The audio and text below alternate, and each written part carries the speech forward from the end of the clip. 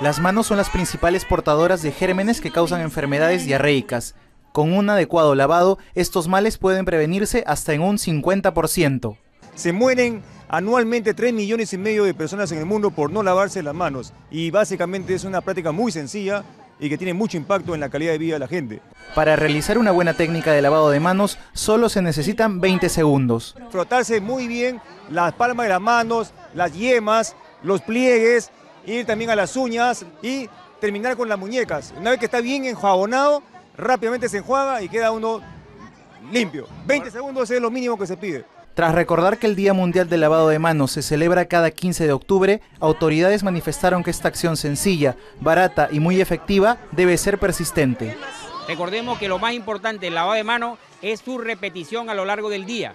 Quiere decir, cada vez que llevamos a cabo alguna acción con algo que puede contaminarnos, debemos precisamente lavarnos las manos.